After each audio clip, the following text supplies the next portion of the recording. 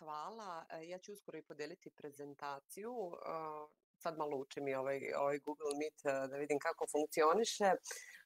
Pa ćemo onda i krenuti sa predavanjem i naravno pre toga želim da vam se zahvalim što ste ovde u nedelju ujutru. Želim da se zahvalim organizatorima što su, što su mene pozvali. Mi već uspešno sarađujemo nekoliko godina unazad i a, ono o čemu ću vam ja danas pričati jeste asertivnost, odnosno a, asertivnost kao pojam, kao tema jako, jako široka, a, a ja ću se truditi da pričam o tome na čemu se asertivnost zasniva, a, i naravno kako da počnemo da vežbamo u stvari tu našu, našu asertivnost.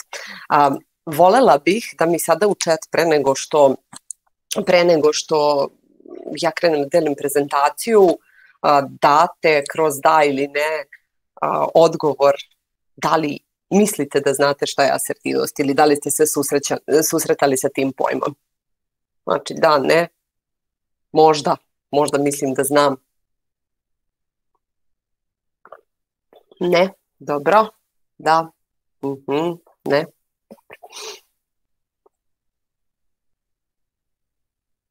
Uh mhm. -huh.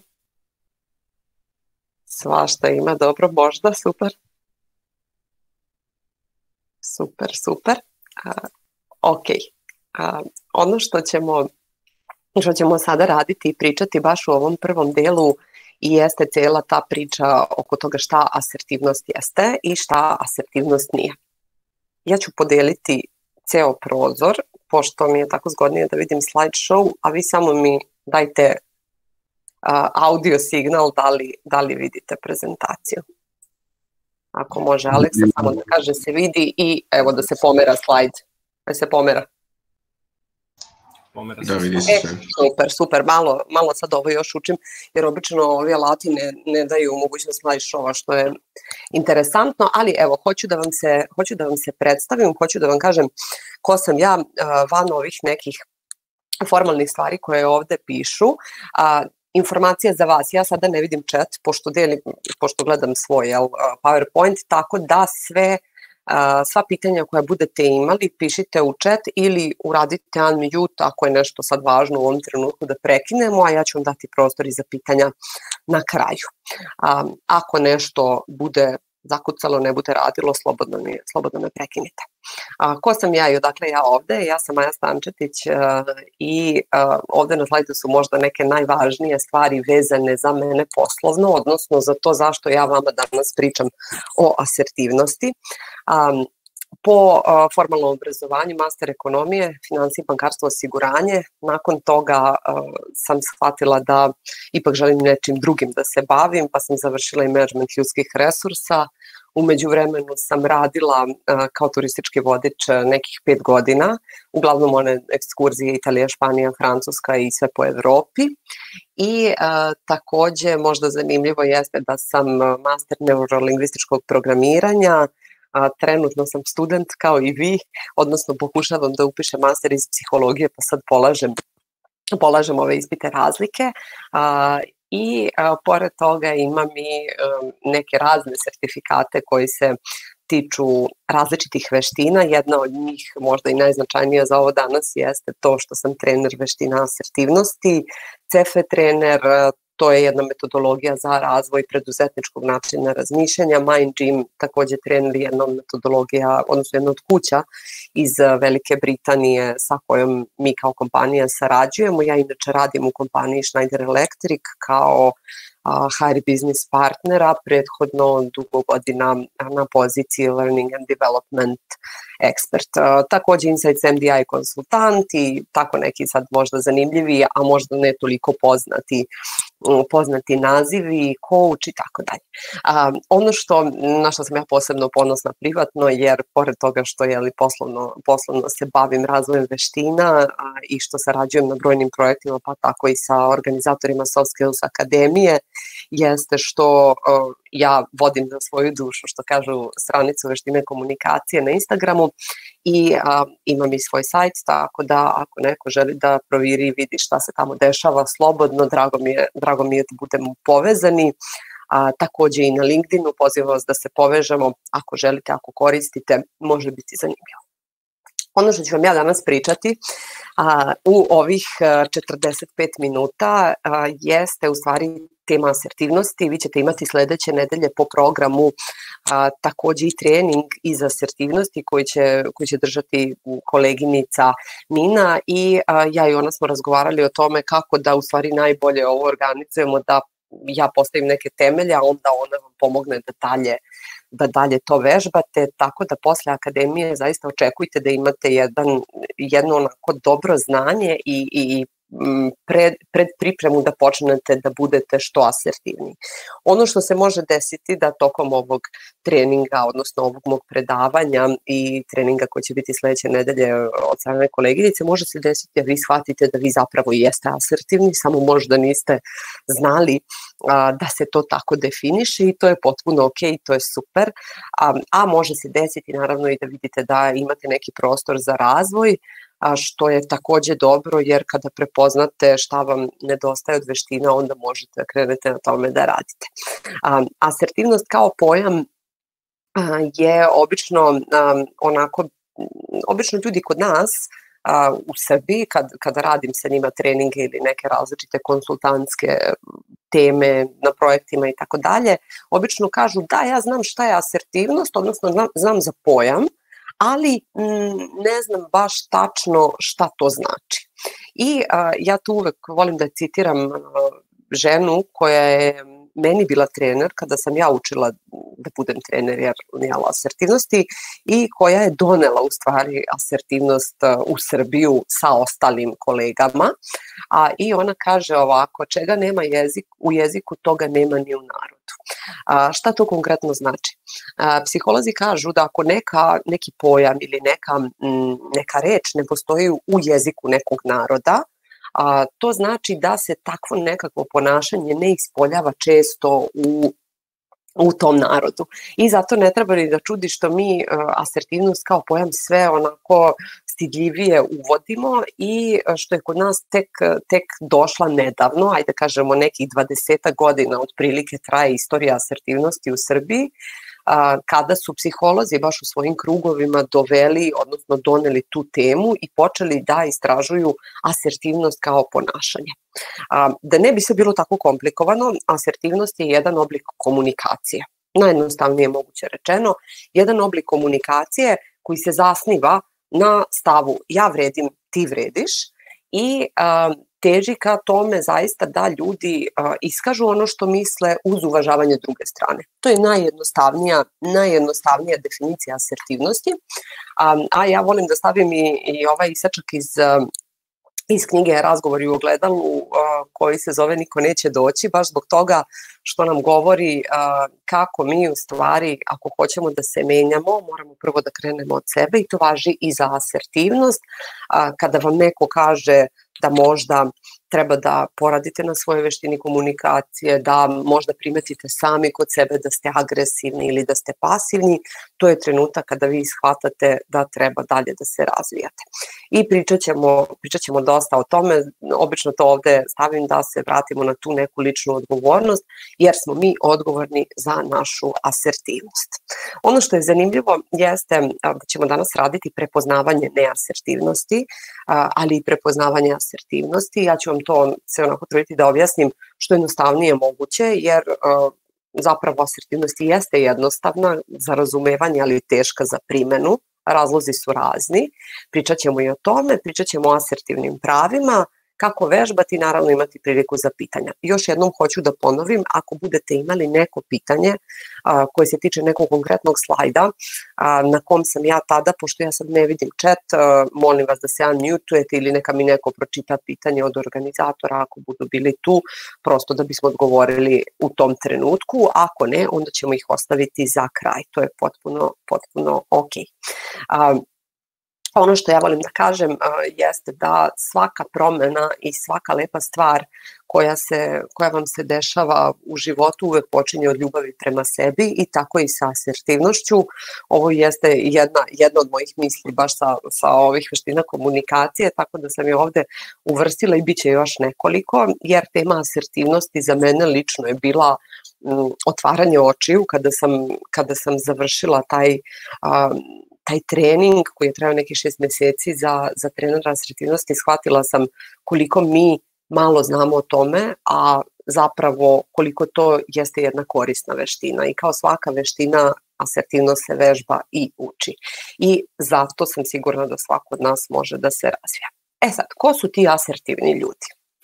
Asertivni ljudi, pod navodnicima, zašto pod navodnicima? Pod navodnicima zbog toga što uh, asertivnost baš kao tema kaže da ne lepimo jedni drugima etikete. Ne govorimo ti si ovakav ili ti si onakav, već težimo da sve prevedemo u jezik ponašanja. Znači neko ko se asertivno ponaša, nećemo reći asertivni ljudi, ali ovako je zanimljivije kada se stavi na slajd. Tijana Mandić, veliki stručnjak iz komunikologije, ima i ovu istoimenu knjigu. Um, ona je rekla sledeće, znači to su ljudi koji češće od drugih dobijaju ono što žele, poštuju sebe, svoju energiju, mogu da se e, kontrolišu, znaju kako da upravljaju stresom, znaju kako da se u konfliktima ponašaju, oni e, se ne boje da iskažu kada se s nečim ne slažu, imaju više poverenja u sebe i druge i stalno pozivaju na međusobno poštovanje. I sad kada čitamo ovo, svi, ka, svi verovatno pomislimo, ja sam pomislila kao ovo je super, želimo da imamo ovo, ali je pitanje kako sve, sve ovo razviti. I super su mi ove ilustracije ovde koje sam vam i dala da, da pogledate. Um, asertivnost ne znači da vi u životu nemate problema. Ne znači da vi u životu uh, nemate stres, a ne znači da vi nećete ući u konflikt, da vas neko neće iznervirati, da vam neće biti teško, a, već asertivno znači da vi ste opremljeni tim nekim alatima, odnosno uverenjima ličnim koje će vam pomoći da bolje to prebrodite. Zašto vam ovo kažem? A, zato što ljudi vrlo često kada krenu da a, vežbaju neke stvari koje se tiču i pozitivne psihologije i asertivnosti i um, raznih nekih, raznih nekih pokreta koje, koji sada postoje posebno u okviru pozitivne psihologije, često odu na, na pogrešan put kada pomisle ja moram stalno pozitivno da razmišljam, ja moram stalno da imam savršene odgovore, ja moram stalno da da ne pokazujem neke negativne emocije, da nemam negativne emocije, jer oni misle pogrešno da je to u stvari ideja cele te neke pozitivne psihologije, što zapravo nije, a, jer a, cijela ova priča govori o tome da mi hoćemo da budemo bolji u kvalitetu svog života, razmišljanja, prijateljskim, poslovnim odnosima, ljubavnim odnosima, ali to ne znači da smo mi roboti koji su sada neke asertivne ikone i koji se nikada ne svađaju, nikada ne povise ton, nikada im nije teško i sve ovo što sam rekla. Dakle, ok je da niste ok, to je, to je veoma važna stvar, ali uz asertivnost vi možete bolje da se izborite sa onim stvarima koje vas, koje vas možda muče i da imate bolje odnose. I sve ovo što stoji ovde na, na slajdu. A, šta je zapravo asertivnost? Ajde onako jednostavno još, još jednom da objasnimo. Um, asertivnost jeste um, kada mi slobodno izražavamo ono što mislimo, a kada u stvari uvažavamo potrebu drugih ljudi da isto to nama kažu. Znači, asertivnost nije jedno, jednostrana.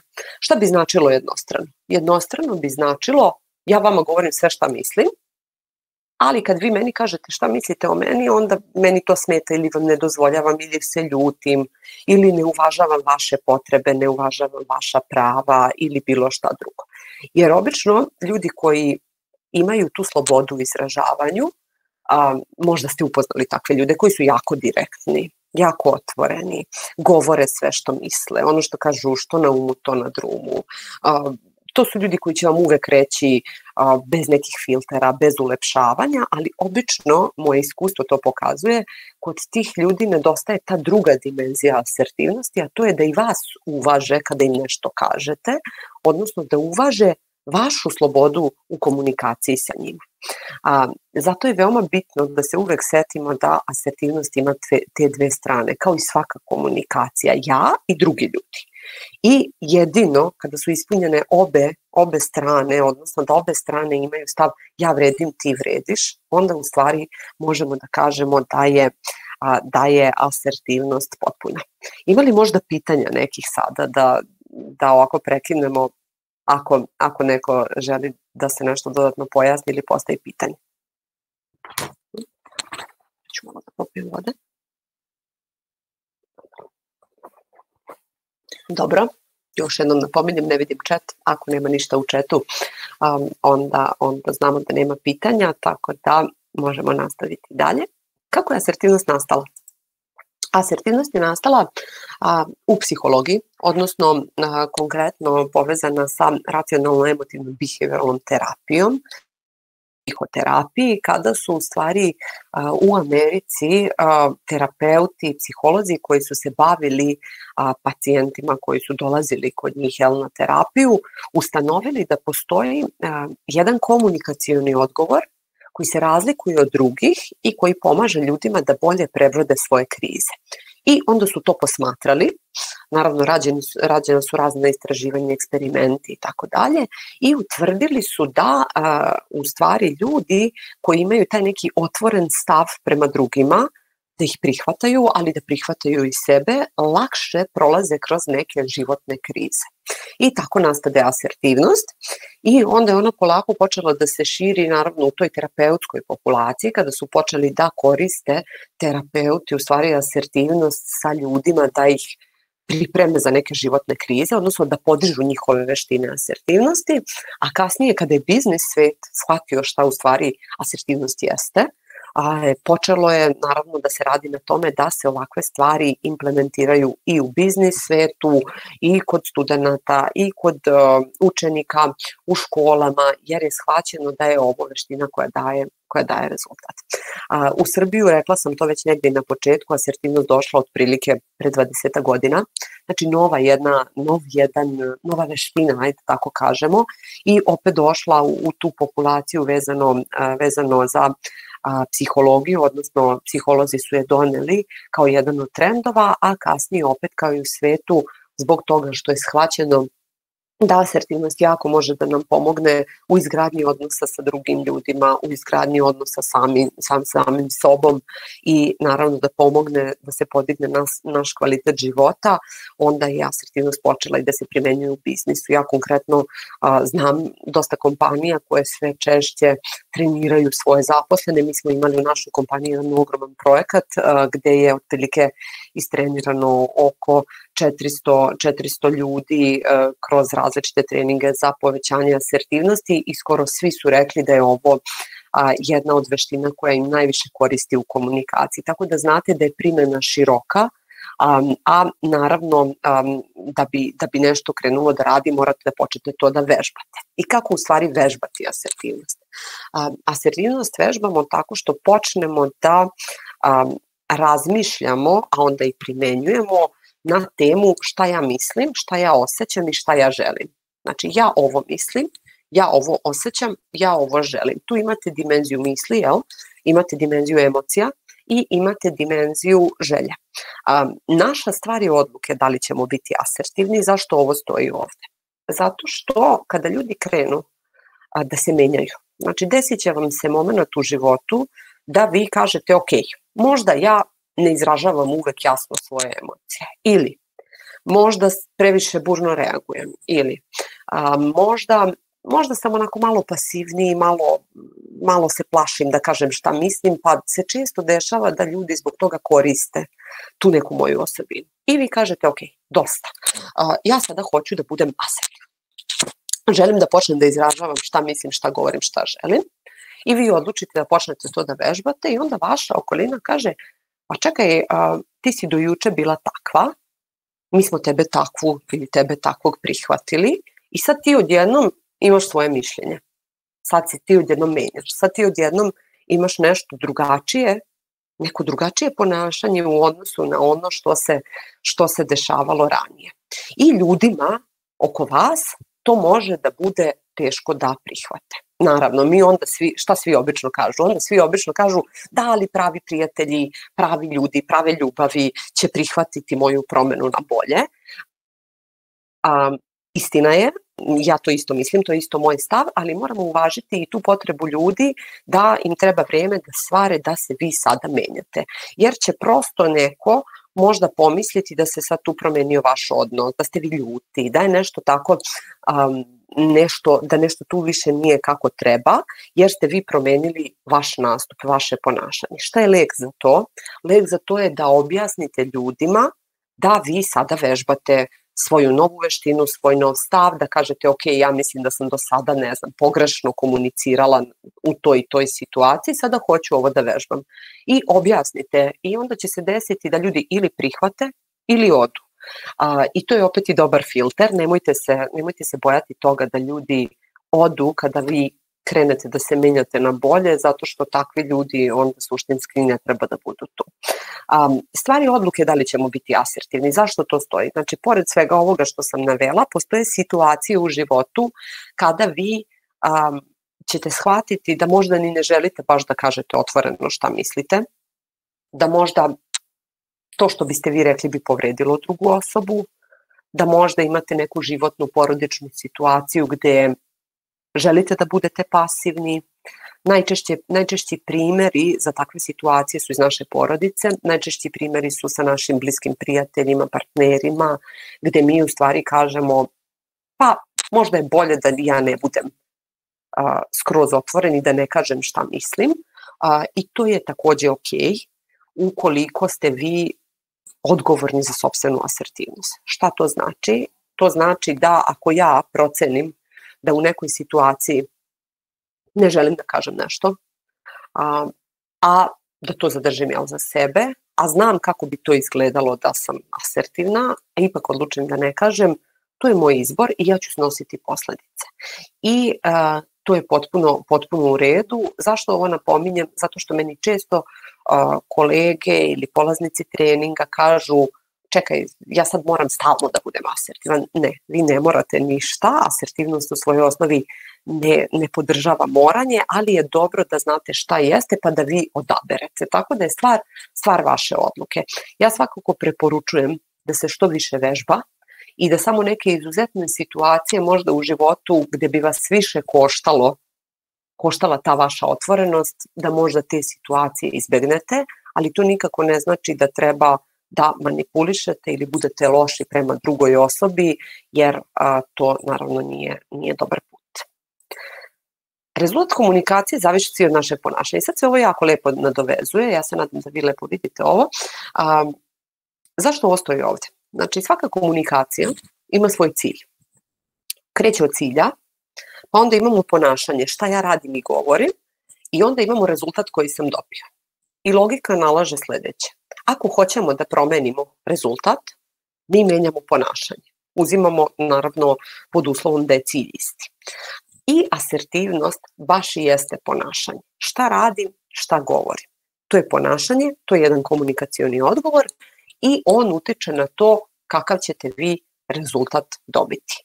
Zato je bitno da se ovo napomene jer šta se dešava? Ljudi često misle da je asertivnost nešto sa čime se rodimo pa eto, ta osoba je nekako otvorena, ja baš nisam, ili uh, ta osoba zna da kontroliše svoje emocije, ja baš ne znam, i onda odustanu ponekad od razvoja te veštine. Kada kažemo ponašanje, ponašanje se mnogo lakše menja. Zašto? Uh, zato što ja ponašanje, ja se ponašam u jednoj situaciji tako i onda samo malo promenim svoje ponašanje i mogu da dobijem drugi rezultat. Znači, dosta je lakše ljudima da pomisle da promene ponašanje nego svoju ličnost. I uvek se setite toga kada vam neko kaže, to, to ljudi vrlo često vole da koriste, ja sam takav i ne mogu da se promenim, svako može da promeni svoje ponašanje ukoliko želi, ličnost, temperament i neke odlike ličnosti, to ne možemo da menjamo, možemo da korigujemo, možemo da nađemo bolje načine da sa tim živimo, ali ponašanje je jedna stvar koja se može vrlo lako menjati. Naravno, što je duže ponavljeno ponašanje navika, teže je menjati, ali moguće i to hoću da vam kažem da je moguće. Kako da prepoznamo ko kako komunicira? Verujem da ste nekad razmišljali o tome kako svi imamo različite načine komunikacije i kako svako od nas ima svoj neki stil komunikacije, ima svoj, svoju neku energiju koju nosi kroz komunikaciju, neko je vrlo brzo u komunikaciji, neko je sporiji, nekome treba vreme da razmisli, nekome treba manje vremena, neko ima agresivan ton, neko ima pasivan ton i to sve jesu neki od elemenata koji su nam važni da bismo razumeli šta asertivnost jeste. I sad ćemo da pričamo o tome šta asertivnost prvo nije, pa kad, biste, kad vidite šta sve nije, onda ćemo videti šta i jeste. Agresivni stil ponašanja. Znači, postoje, postoje zapravo četiri stila a, u ovom kontekstu, ima ih mnogo u različitim učenjima, ali što se tiče asertivnosti imate agresivni, imate pasivni, znači to su dve suprotnosti, imamo pasivno-agresivni, veoma zanimljiv stil, i imamo asertivni, znači ta četiri stila ponašanja. Agresivni stil ponašanja, ovo je prikladna, prikladna jedna ovaj, ilustracija, kako prepoznajemo agresivne ljude.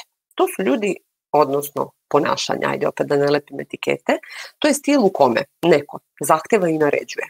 Nema molim, nema hvale. To je osoba koja uvek optužuje i krivi druge, znači svi drugi su krivi, ne priznaje svoje greške nikada, Agresivni stil je usmeren na osobu, a ne na ponašanje. Šta to znači? To znači kada neko a, hoće da, da kom, odnosno kada komunicira na agresivan način, reći će vam vi ste, ti si idiot ili ti si ovakav, ti si onakav, a neće se vratiti na ponašanje. Suprotno bi bilo, o, ti si u toj, u toj situa, situaciji uradio to, meni se to ne dopada. To bi bilo možda asertivno. A, a agresivni stil su oni koji koji se ljute, kinje, a, maltretiraju u tom smislu i uvek napadaju vas kao ličnost. Ne sluša i prekida, glasno govori, glasno za, a, glasno za situaciju, odnosno glasno za sebe. Imate ljude koji po prirodi glasnije govore, Um, ali ako oni stalno tako govore, to je onda ok, ali imate one koji povise ton i to su ovi agresivci, agresivna gestikulacija i zurenje u sagovornika. Naravno možete ovde nadodati još neke, neke elemente, ali ovo su ključni. Agresivna gestikulacija, kako znamo, znači kada je telo napeto, unosi vam se u lice ili, ili preteći, preteći pokreti i tako dalje. Što se tiče pasivnog stila ponašanja, to je drugačije potpuno. To je drugi stil, znači imate agresivno s jedne strane, pasivnost druge i asertivnost je sredina. Pasivni stil ponašanja sve obrnuto. Ljudi koji izbegavaju raspravu, uglavnom ćute ili puno pričaju, ali ne kažu pritom skoro ništa. Zašto je to bitno? Znači, može se desiti da imate ljude koji su jako pričljivi, ali suštinski ništa ne kažu. Znači, ponavljaju tuđe mišljenje, to je ovo. Ne izražava svoje mišljenje, ponavlja tuđe. A, uvek se sa svime slaže, uvek sve može, a, ne daje neke, neke svoje jasne stavove, brzo priznaju grešku, izvinjavaju se, a, govore tiho, ne podižu glas, a, onako deluju nesigurno, kao da će, kada nešto treba kažu, deluju uvek onako nesigurno, uglavnom ne gledaju u oči i može se desiti da se smeškaju, stalno klimaju glavom i sve je okej. Okay to je pasivni stil ponašanja i um, on obično, uh, obično ide uz ljude koji su uh, tako poučeni, ćutljivi i puštaju da drugi odlučuju o nekim, o nekim odlukama ili, ili dešavanjima. Pasivno-agresivni stil a, jedan od najzanimljivijih. Zašto? Zato što je kombinacija. Znači, kod agresivnog imate vrlo jasno, kod pasivnog imate vrlo jasno, ali kod pasivno-agresivnog imate baš ovo što je ovde na, na fotografiji prikazano, bomba koja se smeje. Znači, tempirana bomba koja se smeje sa osmehom i to su ljudi koji a, u svom stilu imaju sarkazam, ironiju, a, ali e, ovo nije u, u, nije u službi humora da vas zabave ili da nešto, ono što kažu zezamo se pa smo sarkastični, već je u službi e, malo da vas pecne, odnosno malo da vas na neki način povredi. A, redko iznosi svoje mišljenje javno, uvek je general posle bitke, znači uvek posle kad se nešto završi, uvek zna šta bi trebalo, uvek i žrtva, a, u smislu jeste uvek sve na mene padne i tako, ne pokazuje prave emocije i optužuje druge za svoje frustracije. A, zašto ova osoba ovako komunicira? Zato što ovde imate kombinaciju emocija. A, prvo, da se vratimo na agresivnost. Kod agresivnosti dominantna emocija je ljutnja ili bes. A, ljutnja, bes je jača, jači nivo ljutnje. Kada se dugo ljutite, onda postajete besni. A, znači, kod agresije bes i ljutnja. Kod pasivnog stila, bojazan strah. Znači strah i onda iz tog straha ja se plašim da izrazim sebe.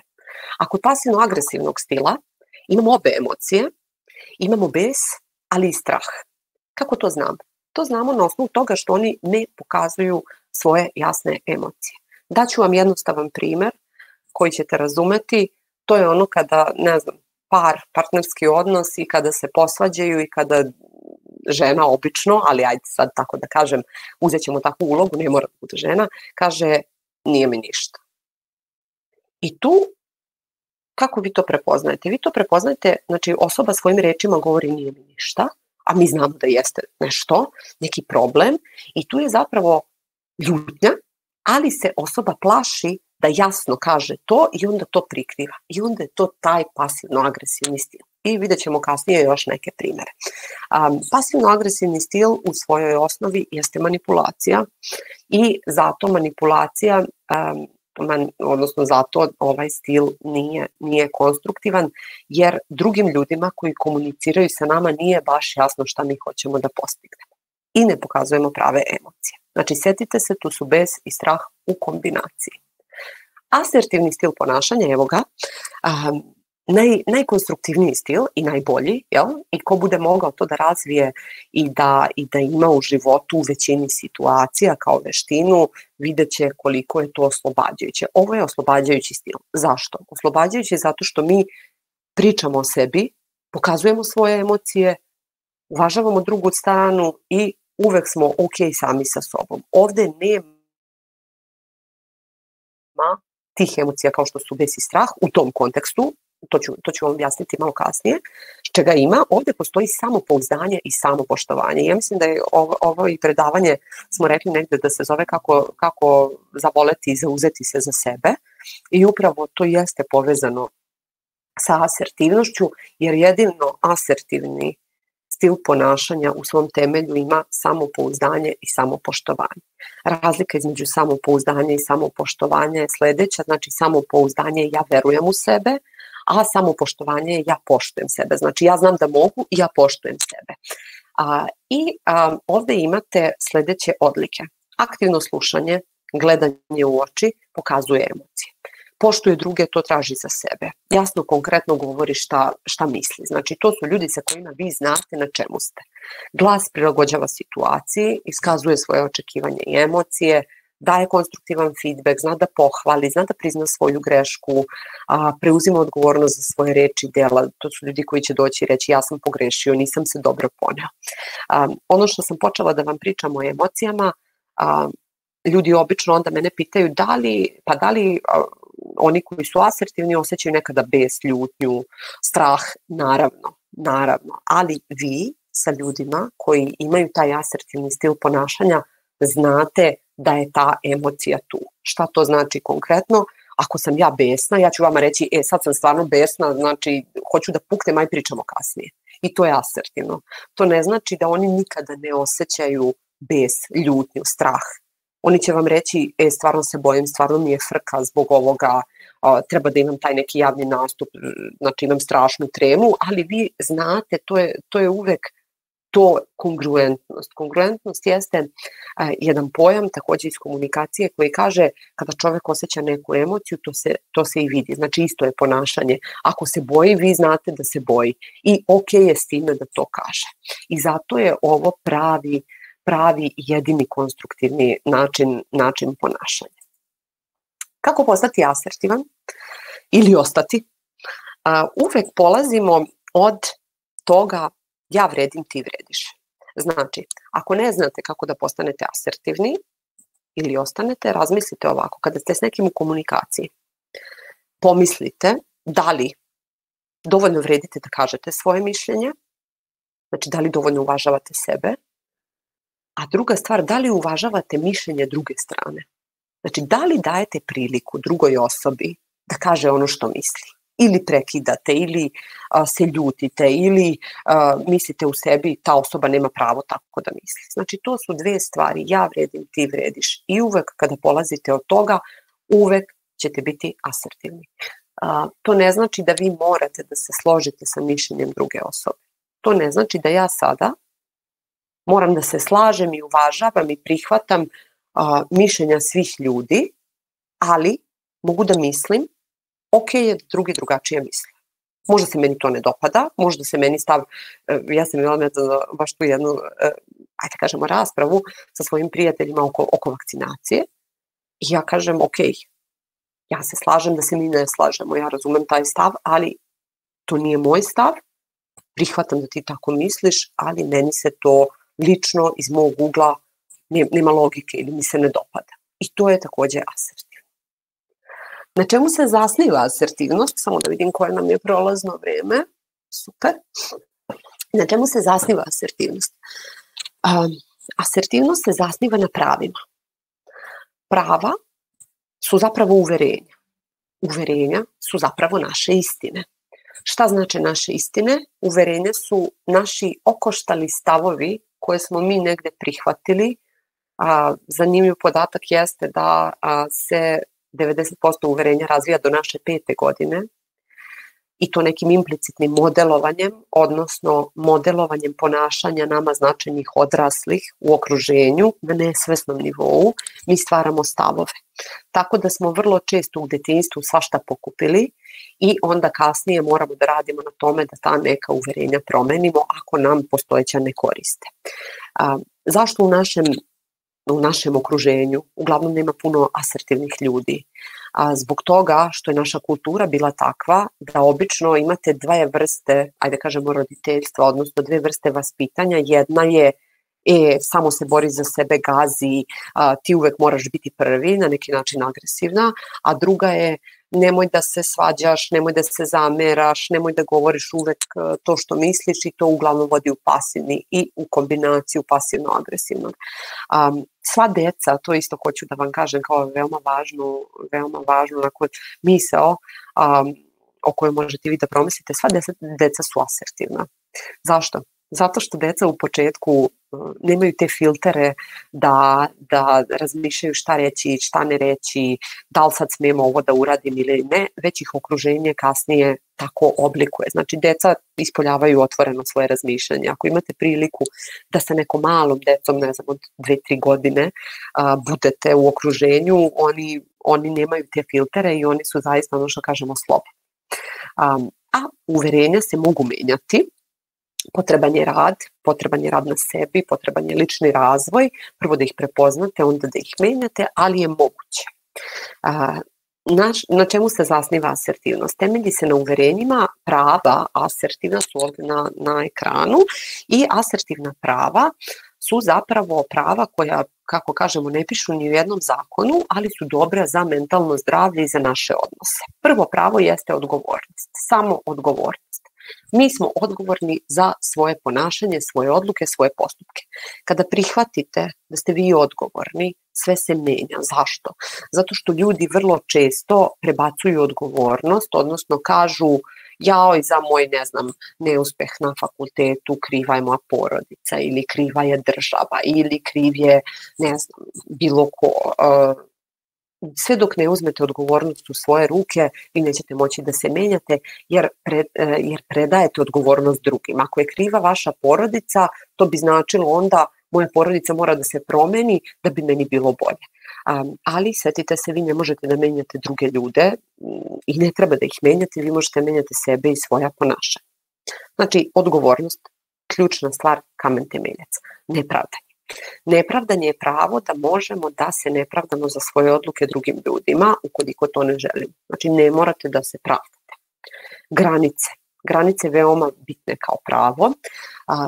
Pravo da postavimo granice je ono da svako od nas ima svoje pravo da pusti druge ljude dokle god želi ili da ih ne pusti. To znači da ako vam neko a, se previše meša u život, postavlja vam previše nekih ličnih pitanja, hoće da uđe u neki vaš lični prostor, slobodu ili bilo šta drugo, vi imate pravo da kažete meni to ne odgovara.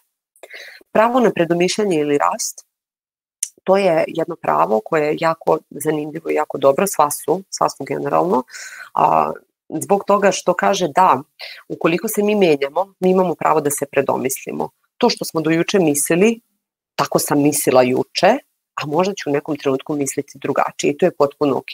Ljudi sebi vrlo često ne daju pravo na predomišljanje zato što misle, e sad će drugi misliti da ja a, nisam dosledna ili da nemam integritet ili nešto drugo. A, tu uvek pomislite, u svetlu informacija sada koje imam, ja sam se predomislila i to je ok. Pravo na grešku Moramo davati sebi pravo na grešku. Pravo na grešku sebi ne daju perfekcionisti koji imaju uverenje sve mora biti savršeno da bih ja bio zadovoljan ili zadovoljna, ali savršenstvo ne postoji i to vam stvara samo dodatni teret u životu. Znači dajte sebi pravo da pogrešite i da nešto naučite iz te greške. Pravo na ne znam.